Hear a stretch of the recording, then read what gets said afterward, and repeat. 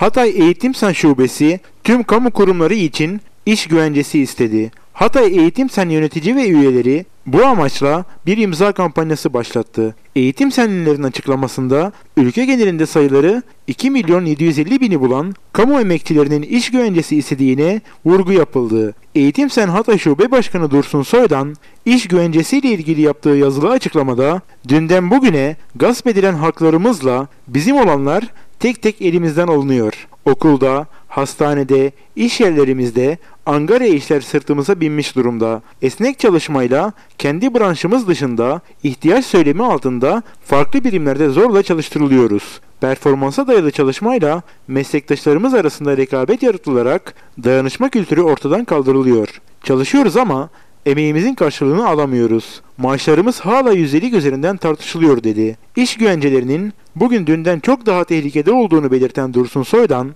açığa alınmak artık sıradan bir olaya dönüşmüş durumda. Sanal ortamda paylaştığım bir düşünce ya da katıldığım bir basın açıklaması sonucunda açığa alınıyor, memurluktan atılıyoruz. Yarınımızın ne olacağı kaygısı içindeyiz. Yıllardır emek verdiğimiz, dişimiz tırnağımızla kazandığımız mesleğimizi bugün yapamamayla karşı karşıyayız dedi. Eğitim Sen Hatay Şube Başkanı Dursun Soydan taleplerini ise şöyle sıraladı. Gelecek kaygısı korkusu içinde yaşamak istemiyoruz. İş güvencesi istiyoruz. İnsanca yaşam sürdürmeye yetecek kadar maaşlarımızın olmasını istiyoruz. Tüm ek ödemelerin emekli aylığına yansıtılmasını istiyoruz. Vergi dilimi artışı adaletsizliğine son verilmesini istiyoruz. Ek gösterge adaletsizliğin kalkmasını istiyoruz. Performansa göre ücretlendirilmeye son verilmesini istiyoruz. Angarya iş yüküne karşı adil iş koşulları istiyoruz.